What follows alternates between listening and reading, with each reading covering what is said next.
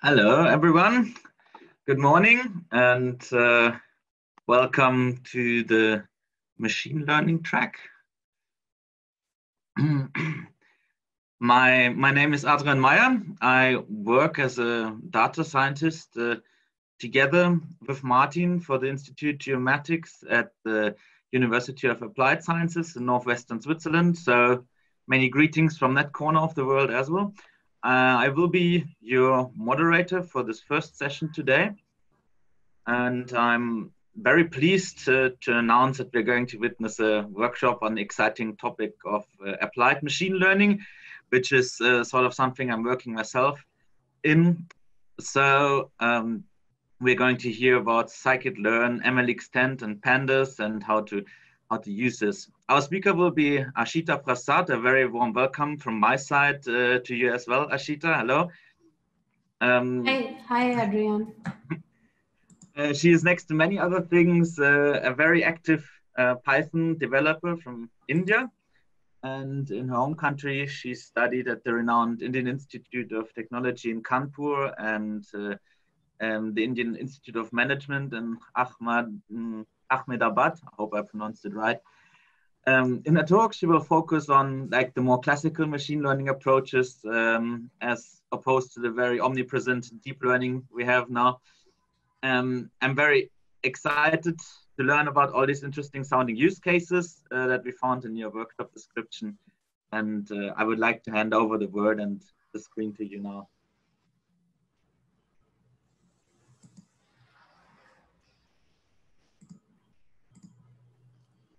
So, hi everyone.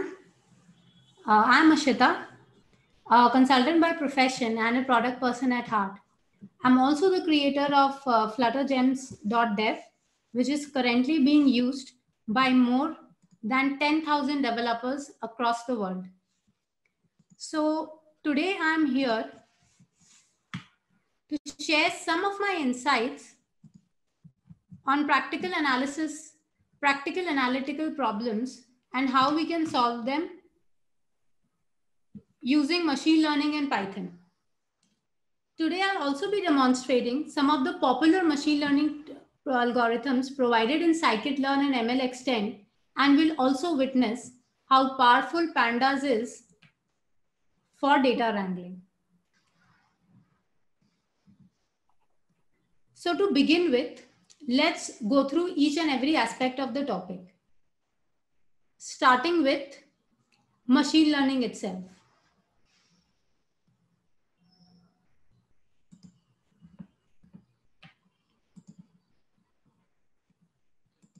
So a lot of you must already know as to what is machine learning. It's a very popular term. But did you know what was there before the advent of machine learning? Classical programming. Sounds familiar, right? So in classical programming, a team would actually sit down, finalize the rules and apply it on some data. Based on that, they would then take decisions. Typical example would be a series of if statements. But fast forward with the advent of machine learning, we can now develop methods which consume data along with answers or decisions and then for the input data and then we can actually come up with rules which we can then apply on new data to get more decisions. So as you can see from this graph now, deep learning has is the latest trend. Artificial intelligence and machine learning has evolved and into deep learning today. Today, various industry leaders are deploying deep learning models, which often leads a machine learning enthusiast to question whether deep learning is the only way to go forward. Even in competitive machine learning platforms, such as Kaggle, you can see nearly all competitions are won by deep learning algorithms. So do you think, is it high time that we should abandon the traditional machine learning? A lot about it has been said in the traditional media. that deep learning is at the bleeding edge of AI frontier. But at the end of the day, there is a cost of embracing it. Deep learning models are data intensive. Scale drives deep learning models. More the data, better is your deep learning model. Whereas in traditional machine learning models, as you can see in the graph, there is a saturation point post which it does not lead to an increase in performance.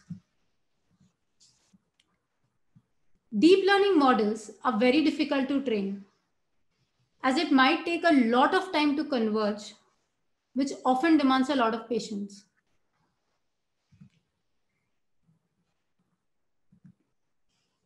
Also, deep learning model is like a black box as you cannot interpret the model itself and explain why a particular input is leading to an output.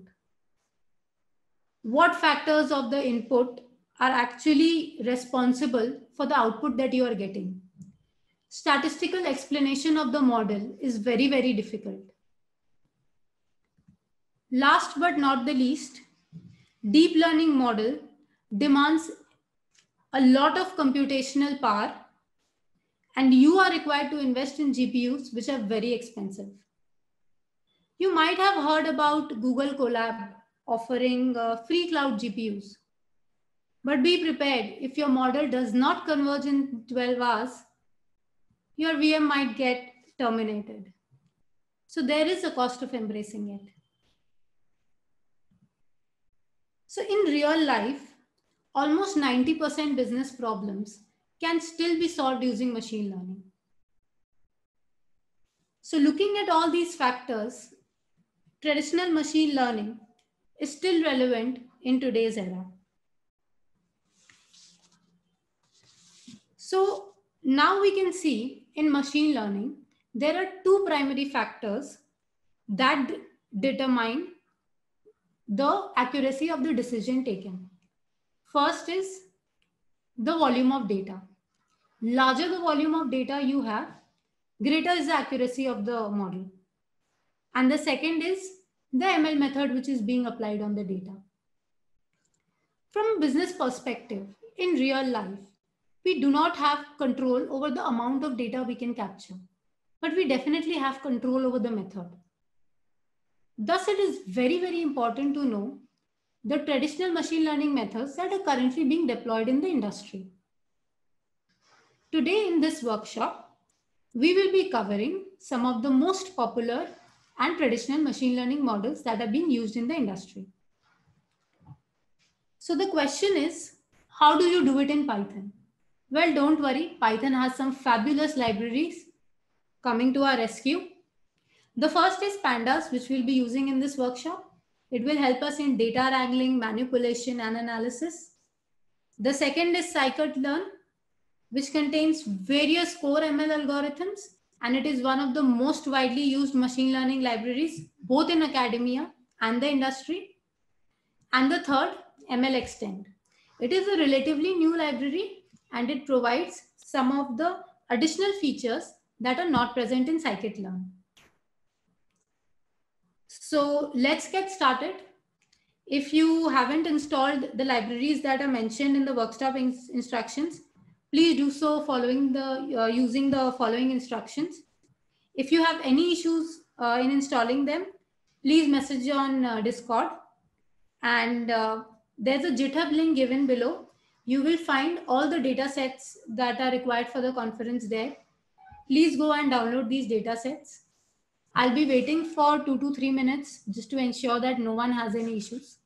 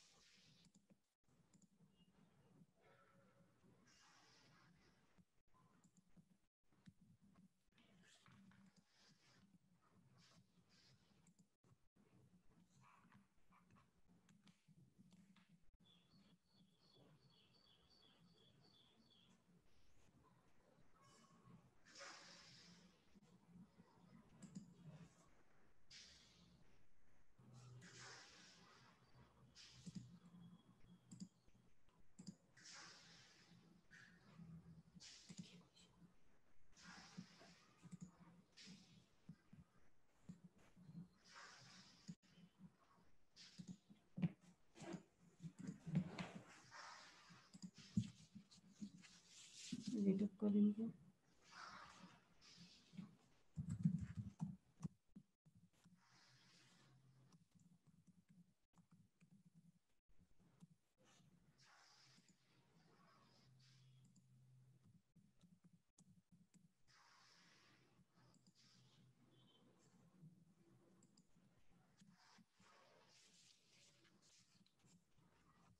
I've shared the GitHub link on the Discord uh, channel.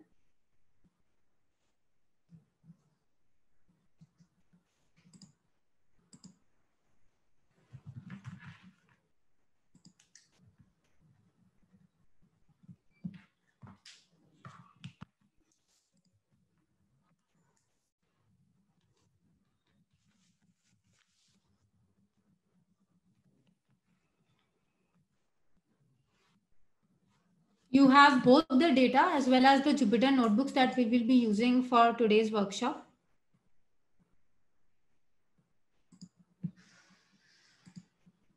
So let's get started with the exercises.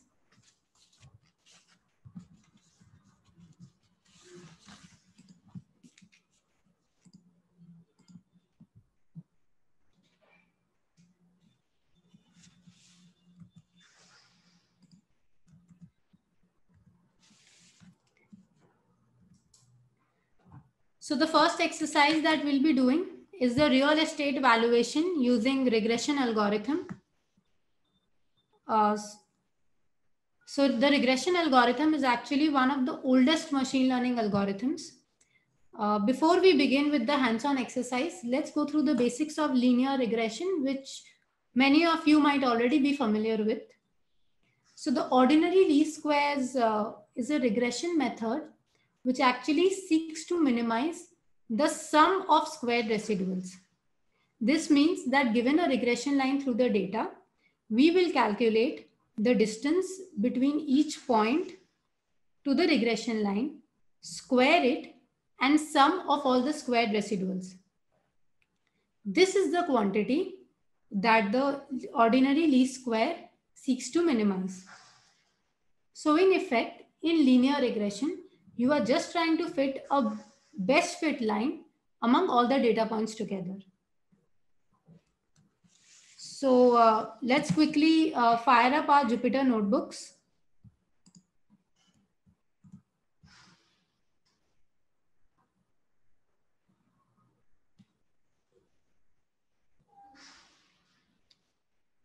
We will be using the linear regression uh, notebook, which is under the assets uh, like assets folder.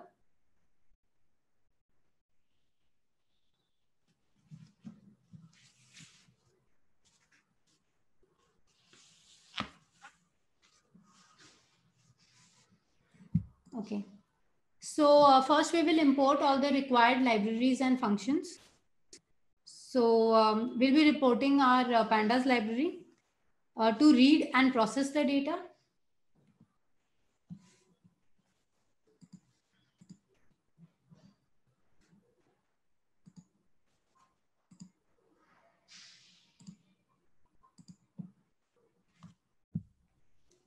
So as you can see, uh, I have opened the Jupyter notebook here.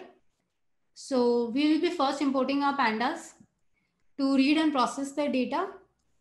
We will then be importing the linear regression class, which contains all the required functions that we need to implement linear regression.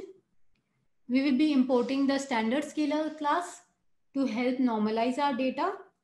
And we'll also be importing the train test split function, which will help us split the data into training data set and the test data set. So let's quickly execute it.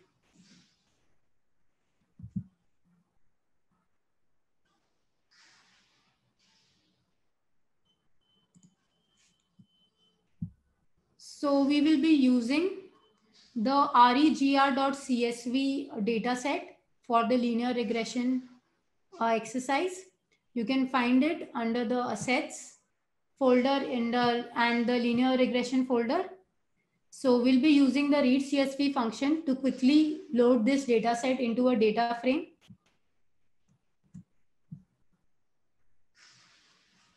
So as you can see, the data set has 414 rows and six columns. The data set has five variables, which are named as x1, x2, x3, x4, x5, representing the house age, distance to the nearest MRT station, number of convenience stores, latitude and longitude. And we have a target variable y, which is the house price of unit area.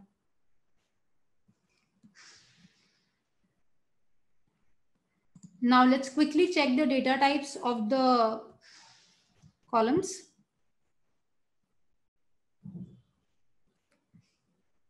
So you can see apart from the number of convenience stores, others are in float.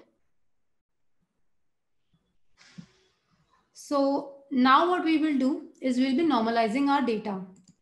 For that, I'm going to initialize the standard scaler. So the first step is initializing the standard scaler.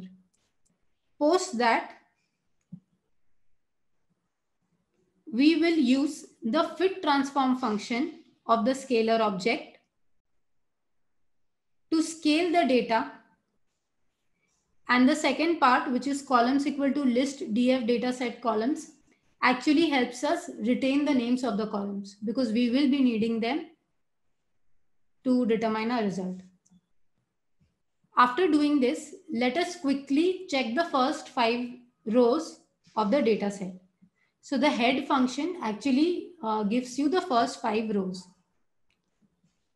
So as you can see, we have the first five rows and the data has been normalized. Now let's split the entire data set into our X and Y. So X is actually the first five columns, X1 to X5. So for that, we will just be dropping the Y variable, the Y house price of unit area. And our Y, for Y, we will only be taking the last column. So let's quickly execute it. Post this, we will be splitting our data into the training data set and the test data set. So as you can see, I have used the train test split function. The test size here is 0.2, which implies that 20% of the entire data set will actually be our test data set. And I've set the random state to one. So what happens when you set the random state to 1, it ensures that you get the same split every time. If you um, omit this uh, random state completely, every time you run the code, there will be a random separation between the test data set and the training data set.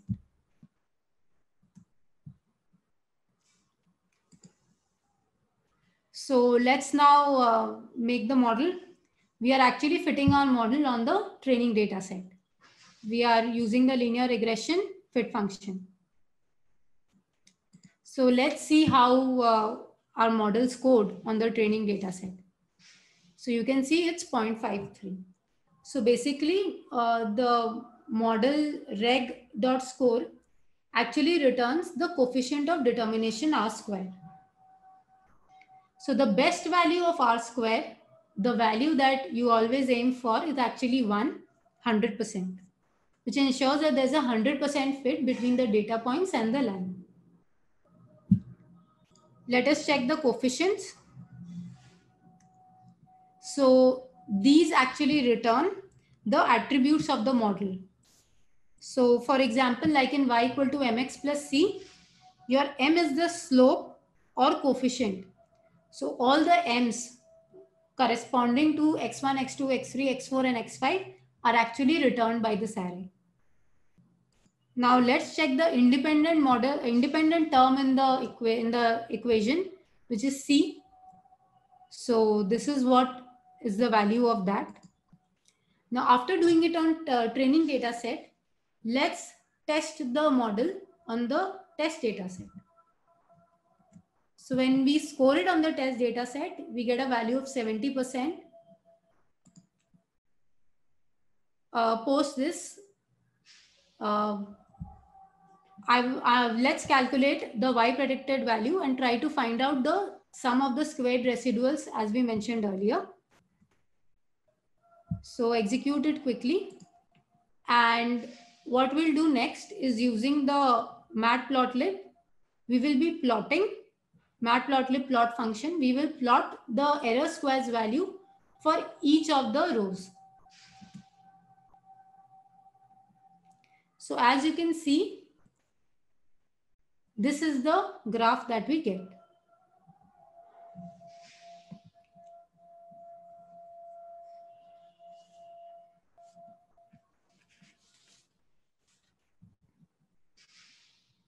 If you have any issues in running, uh, in executing any part of the code, feel free to uh, reach out on Discord and I'll address them.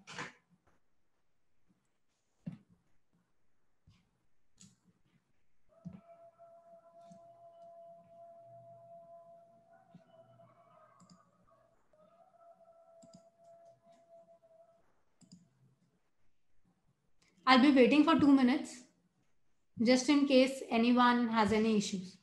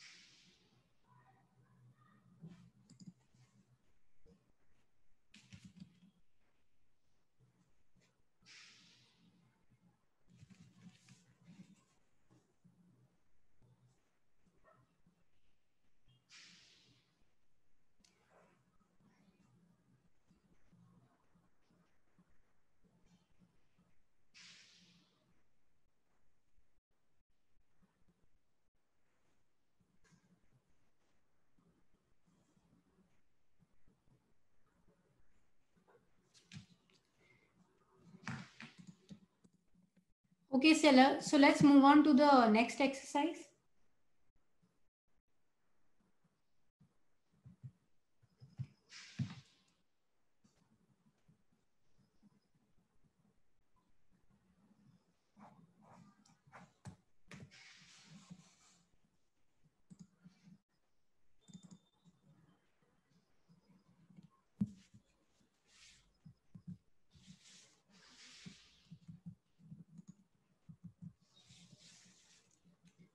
So our next exercise is that of an association rule learning algorithm.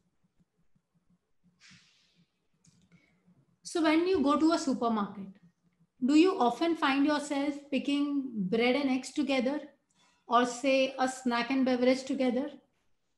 Do you find it convenient when these two products are placed side by side or do you find it convenient when they are placed at two opposite ends of the supermarket?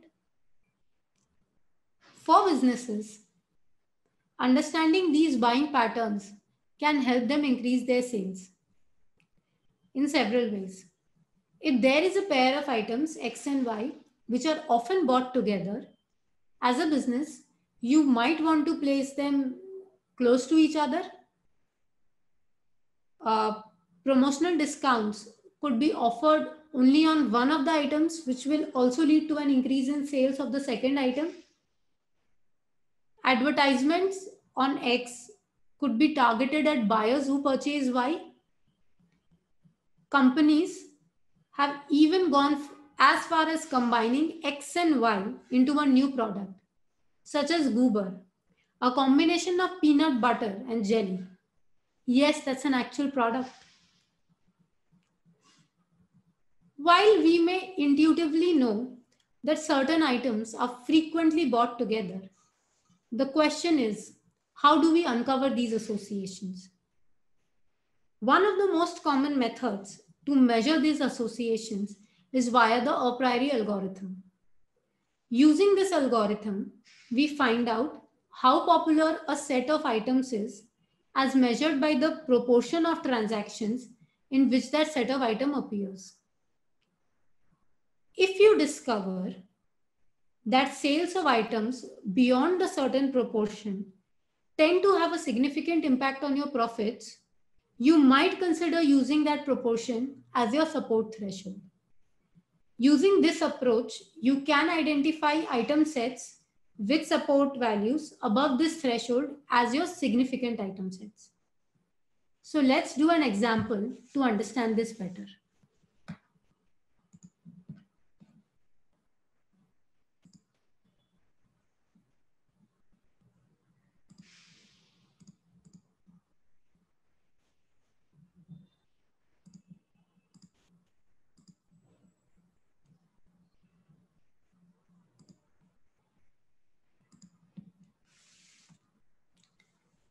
So we'll be using the a priori Jupyter notebook, which is there in the assets folder.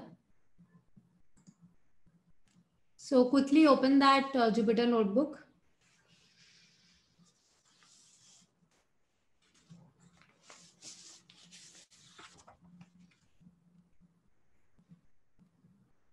So we will be importing our uh, the transaction encoder class. So what transaction encoder does is it basically converts a list of lists into a NumPy array. Uh, the second thing that we'll be importing is the a priori. A priori contains all the necessary functions that are required to execute a priori algorithm. And the third, we'll be importing pandas for doing data analysis. So we'll be using the baskets.csv file which is under assets folder, under a priori folder. We'll be quickly loading it into a data frame using the read CSV function. Let's do that quickly and check the data frame. As you can see, we have 2,800 rows and two columns. So the columns are order ID and product type. So as you can see in the first two uh, rows, we have the same product ID for soft drink and fruit veg. What this implies is that both soft drink and fruit veg were bought in a single order. Similarly, frozen meal and beer were also purchased in a single order.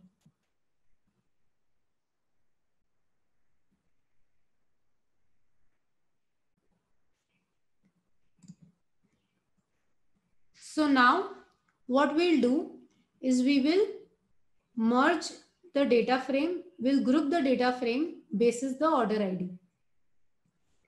So we are using the group by function to do that. And we are splitting all the products. That is, say in one order ID, you have soft drink and fruit veg. We are splitting soft drink and fruit veg using the pipe symbol. And we are also resetting the index for ease of calculation. So let's do that and see how our data frame looks like. So as you can see, now we have 939 rows depicting 939 unique order IDs. And in the second column, product type, you can see all the products have been merged, which were bought in a single order. Like soft drink and fruit veg is now showing in a single order. Frozen meal and beer is also displaying in a single order.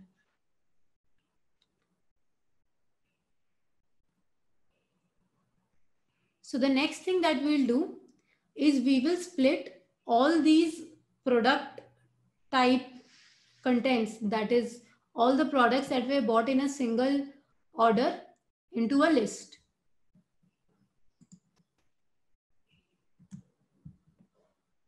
So this is what we get after that.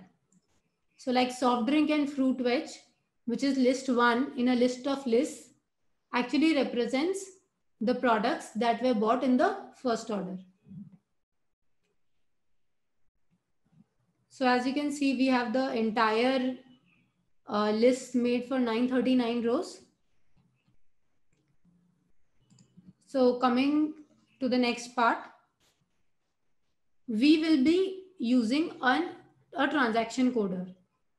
What transaction encoder does is it helps us convert this list of lists into a format that is suitable for the execution of a priori algorithms because the implementation of a priori that we are using requires us, uh, requires our data to be in this particular format. So using the fit function of the transaction encoder, uh, we learn the unique labels in the data set and via the transform method, it is transforming the Python list of lists which we created in the previous step into a NumPy array. Post that, we are putting it into a data frame. So let's see how the data frame now looks like. As you, as you remember, in the first order, we had soft drink and fruit veg, which were bought together. So if you closely see the first row, you can see all the products are false apart from soft drink and fruit veg. Similarly, for the second order, which had beer and frozen meal, apart from these two, all the other products are false.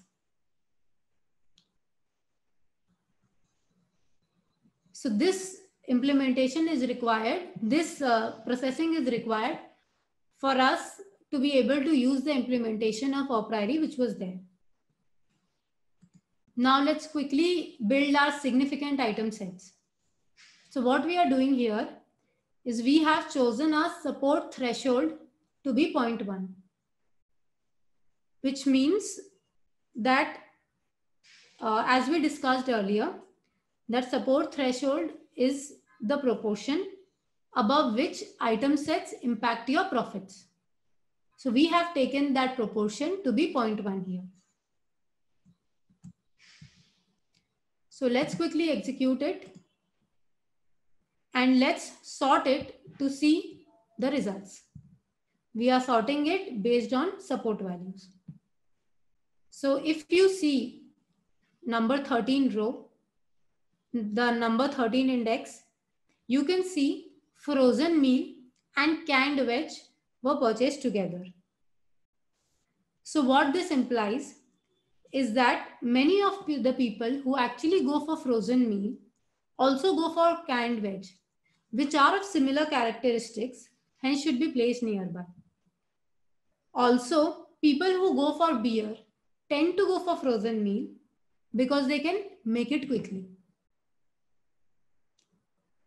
So with this analysis, businesses can actually understand which products they need to keep side by side or what kind of promotions they need to run uh, to impact their business significantly. So before moving on to the next exercise, if you have any doubts, uh, please message on uh, Discord. I'll be waiting for the next two minutes.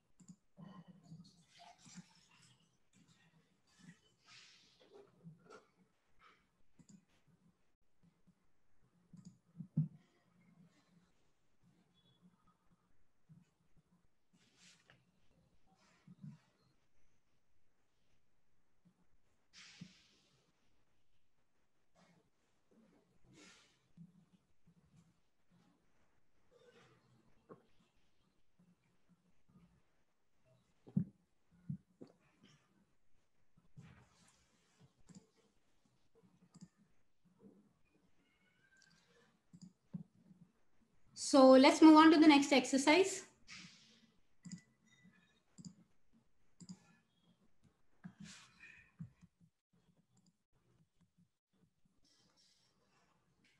So the next ML method that we are going to do is an instance-based ML method. So this class of algorithms assume that similar things exist in close proximity to each other. KNN is one such example, where K is the number of nearest neighbors. In KNN, we try to find the K most similar instances that have occurred via distance calculation of feature vectors. And based on the results of these instances, we predict the output for the input data set. So one very important factor in KNN is the value of K, which is the number of nearest neighbors. So let's try to understand it via a business example. Say Netflix. Say for example, I am a product manager at Netflix for the recommendation engine and I want to predict whether a user would like to see a movie as a recommendation. So what I can do is I can look for 100 Netflix viewers who have watched that movie having same attributes like age, group, geography, language, affinity to a movie genre like drama, horror, comedy, etc. And based on whether they like the movie or not, I can actually recommend or show the recommendation. Now let's move on to the exercise where we will actually be calculating the credit risk of a new loan applicant based on the historic data of similar people who have paid or defaulted their loans.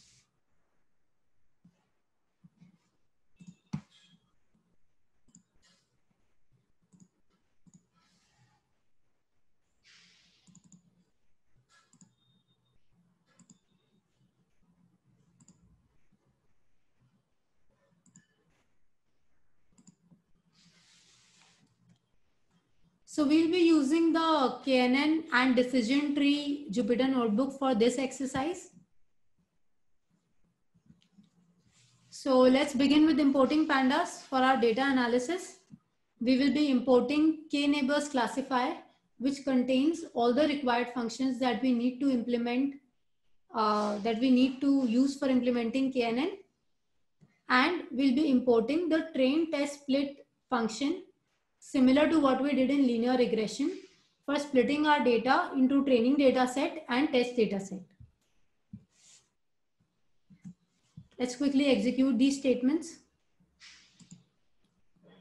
Uh, for the data set, we'll be using the risk.csv data set, which is under assets uh, folder under the credit risk folder. Using the read CSV function, we are quickly going to load it into the data frame. Let's see what the data has. So as you can see, we have 690 rows in the data and 10 columns.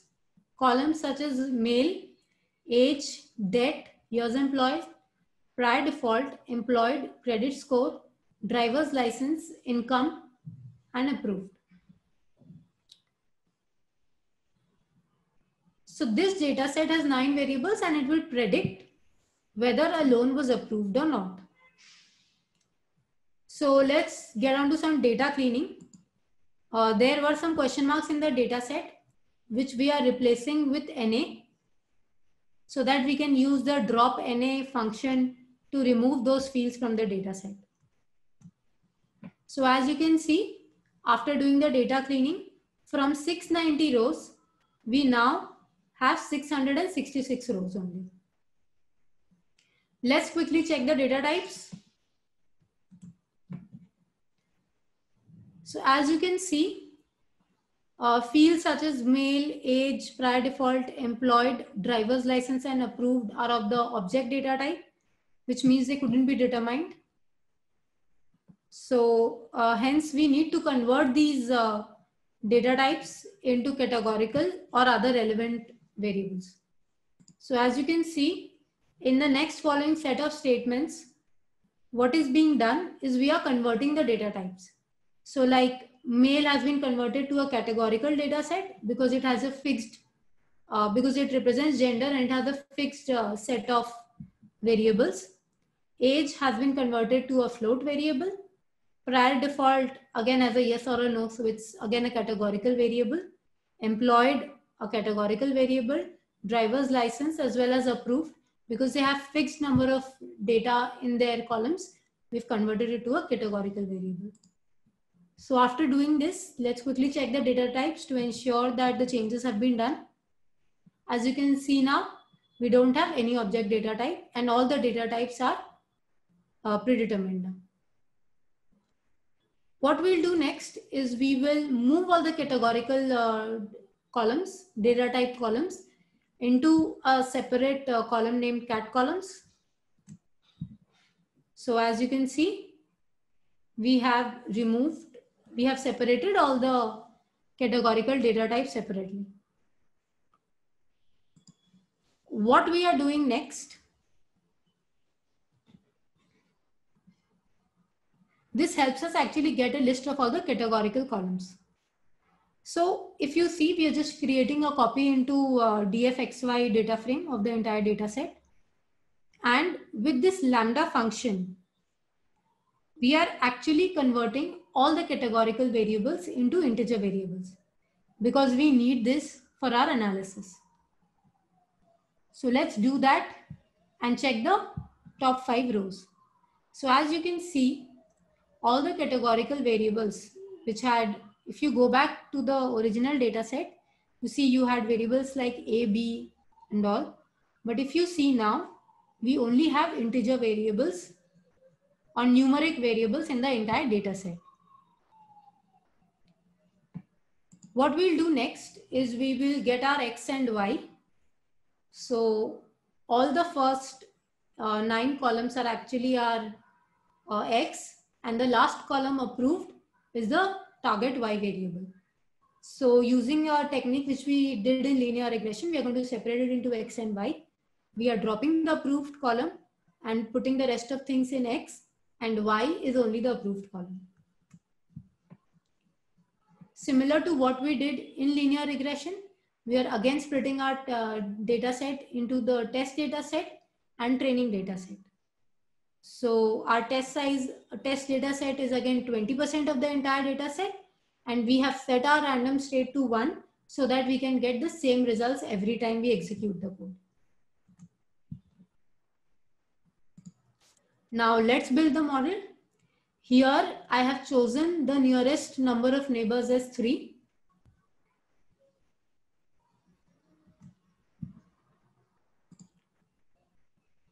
The next thing that we do is we'll fit our model on the training data set. So if you can see, I've used a function ytrain.ravel.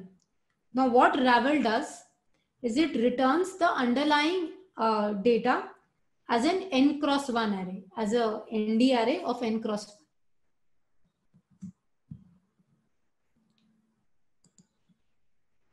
So the next thing that we'll do is we'll predict the model using the test data set. So this is what we get. Uh, this is what our uh, ypred value is. And let's now quickly check the accuracy. As you can see, we get an accuracy of around 0.68.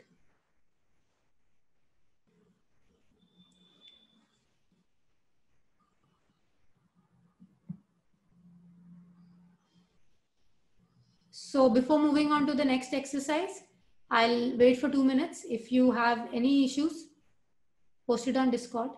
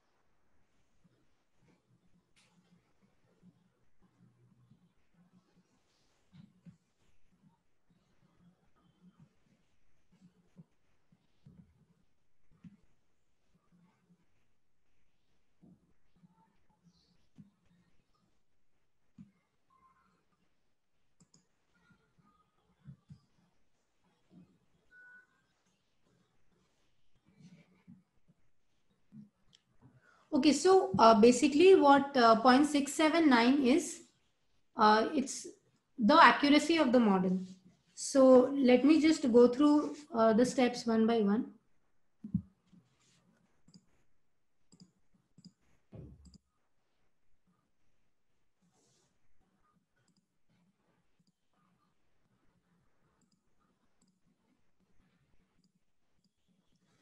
So basically we are predicting the value here. So Y pred is your uh, predicted value of x test.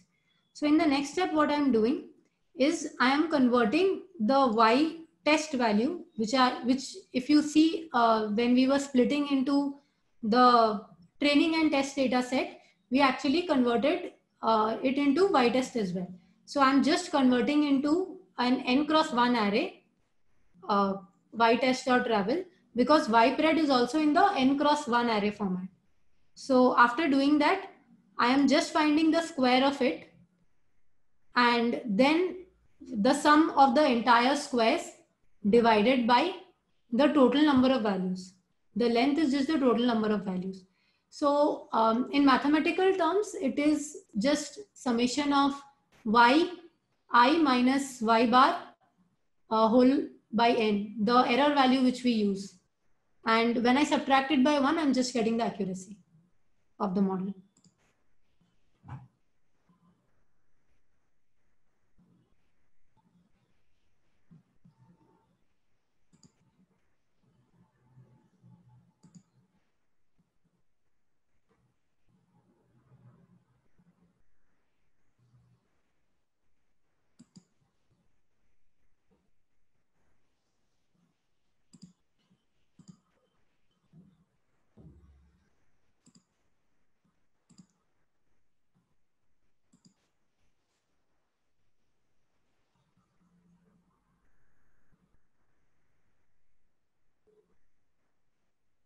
Okay, so let's move on to the next exercise.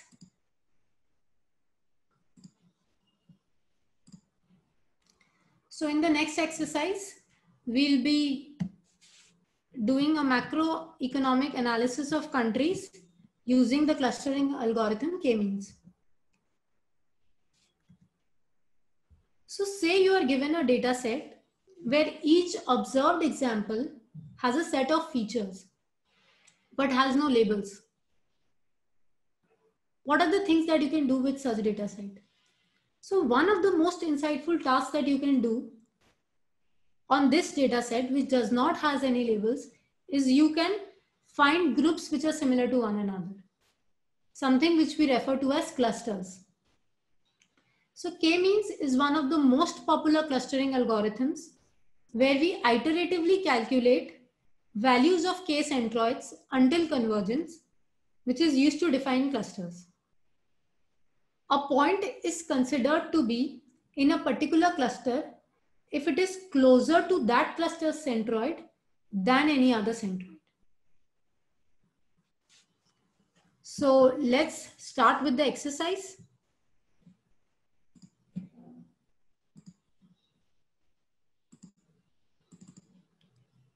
We'll be using the k-means uh, Jupyter notebook.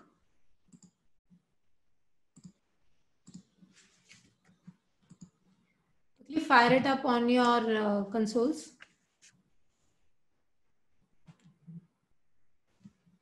Again, we'll be importing our pandas for our data analysis. We'll be importing k-means, which contains all the required functions that we require for implementing k-means. And here, we'll be using a min-max scaler.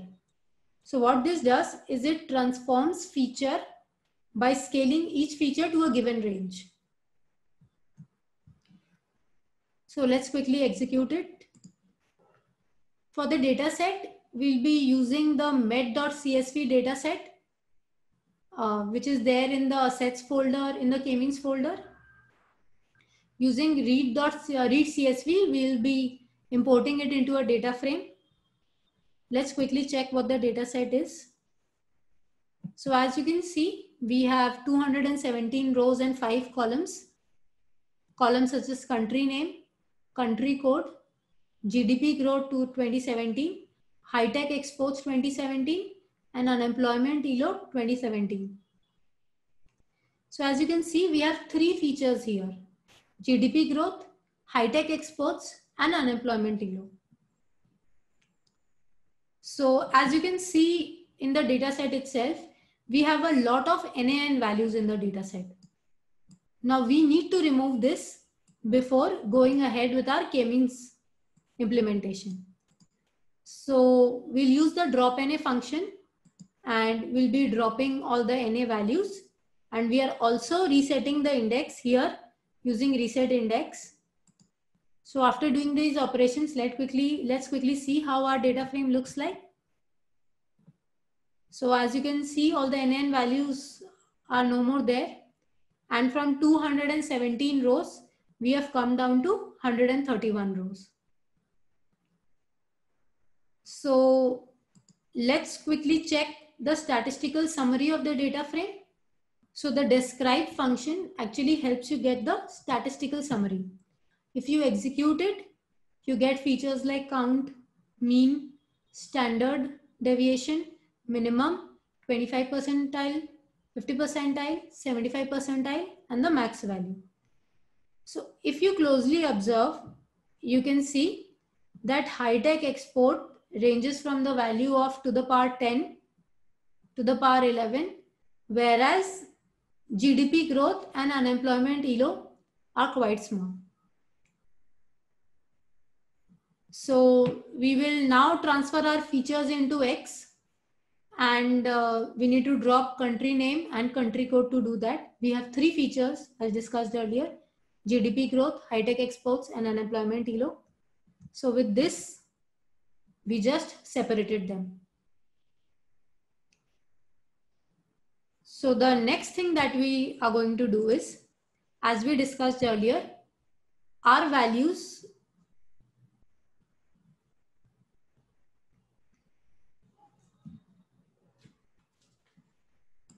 will be uh, implementing min-max scaler. Now, what is the reason for that? Is because if you look, uh, if I don't scale my data, my data will be skewed towards the favor of high-tech exports and GDP growth and unemployment ILO will not be statistically significant.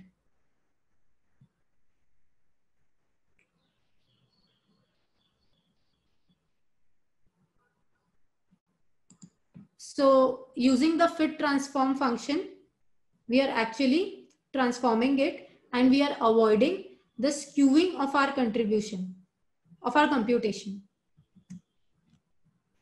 So if you see now, all the values are statistically significant. And they have been adjusted accordingly. Just to show that we can actually retrieve our original data.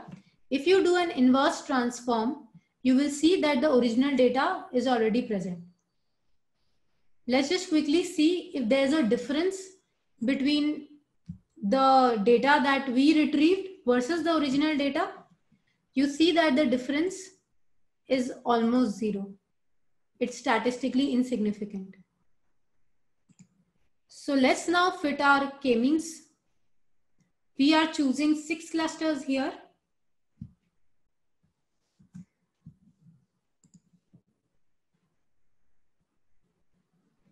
So what six clusters here implies is that we are generating six centroids in the dataset. So this model n iter will actually give us the number of iterations that were run. So 11 iterations were run. Let's quickly check the labels of each point. Now what this implies is that each country has been assigned a label. Now we chose six clusters, which means we have labels ranging from zero to five. So as you can see, all these values are between zero to five and each and every country has been assigned a centroid. Let's check the cluster centers.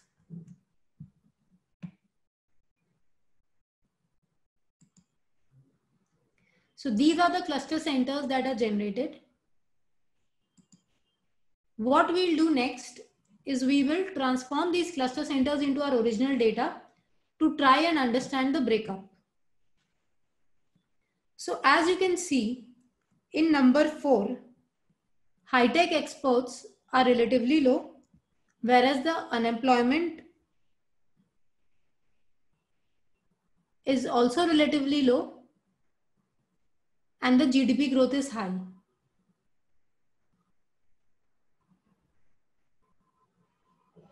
In number five, you can see high-tech exports are high, unemployment is low, as well as GDP growth is high. So as you can see statistically, if you see column number one, you will see your high-tech exports are low, your GDP is low, and your unemployment is pretty high. So you can see that statistically we get six different characteristics.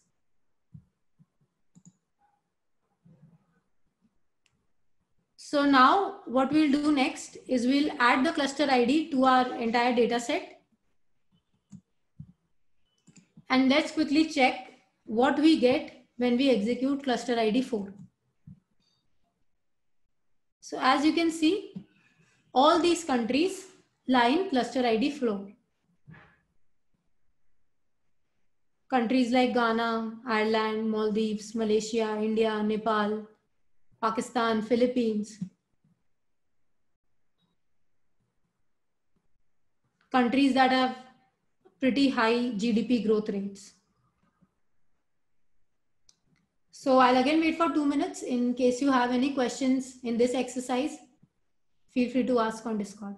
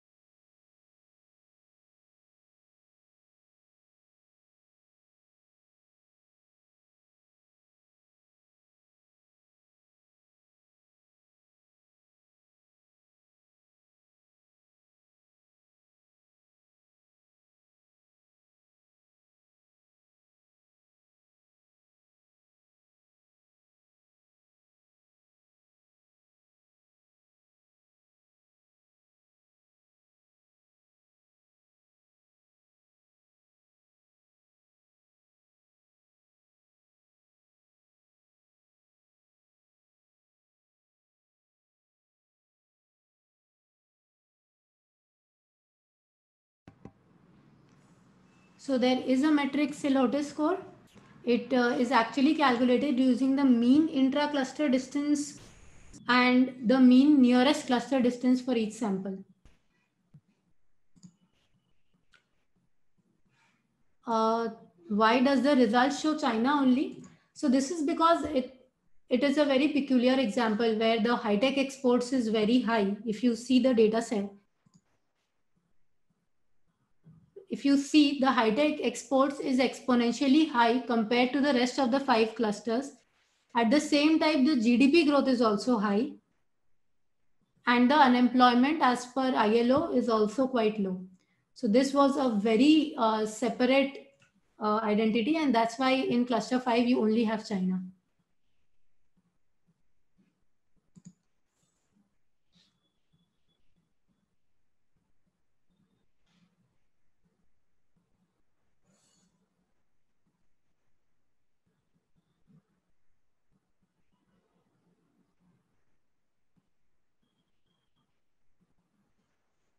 The model iteration might not be the same every time you execute. So for every machine, it should be different.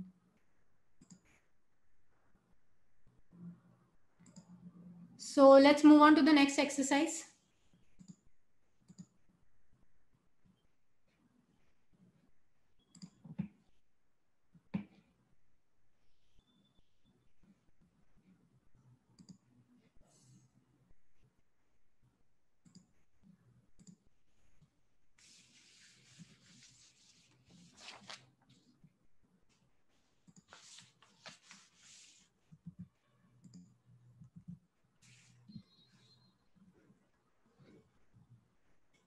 So moving on to the final method of the workshop and one of the most widely used in the industry, decision trees. So using this method, we construct a model of decisions made based on the actual value of attributes in the data. So decisions fork in tree structures until a prediction decision is made for a given record. Decision trees are trained on data for classification and regression problems, and they are often more fast and accurate compared to the other methods. So CART is actually the most popular decision tree algorithm, which we are also going to implement today. So uh, let's discuss an example, the automobile loan default decision tree. So what we try to do in a decision tree basically is the algorithm tries to determine the variable and the split value basis which the data set can be split into two groups which are more homogeneous than the combined parent group. So for example, in this case for loan default, it was determined that the variable credit rating of the split on the categorical value poor will give two groups, one which are more likely to default and the other which are less likely to default. And based on the threshold criteria, we then proceed for more splits in the child nodes as seen. Like for age. Again, middle age was the split value. And you can see that middle age, uh, there we again had to go to income. Whereas for youth and senior, the uh, case for the probability of default was pretty low. So similarly in decision tree, we keep on doing this until we get to a required result. So let's check the exam. Let's check the exercise now.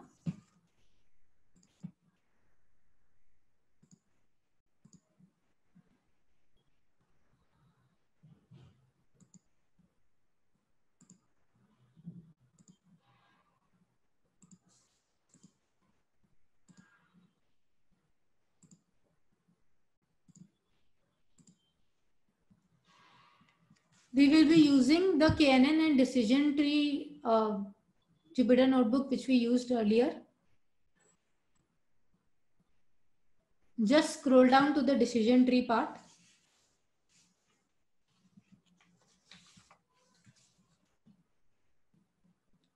So we'll be importing tree. The next thing that we'll do is Here I have fixed the max depth of the nodes as 3. So using that, we'll create our model and then calculate the y predicted. If you remember in KNN, we had already split our data into train and test data set, and we had also covered the ravel function. So let's now check the accuracy of the decision tree model. So it's 0.80. So if you see in this case, we have got a higher accuracy of the model compared to KNN. So uh, if you want to see the decision tree itself,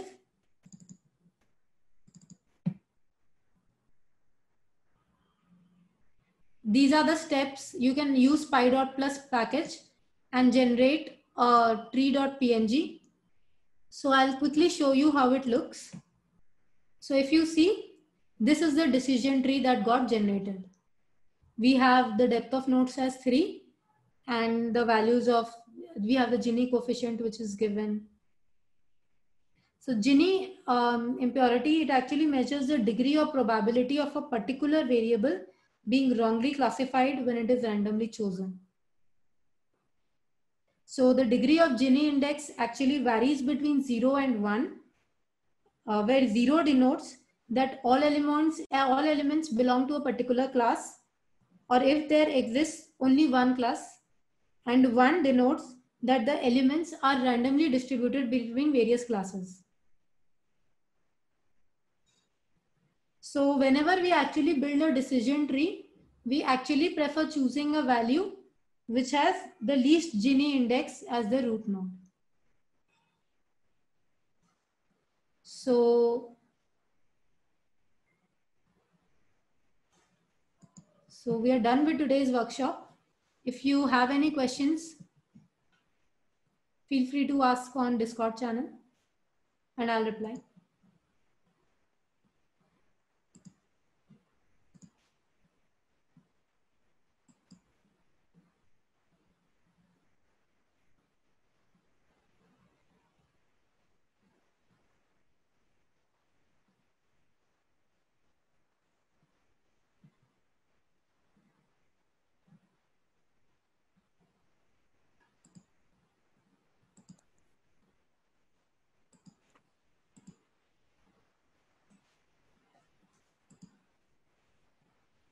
Yeah, uh, thank you, Ashita.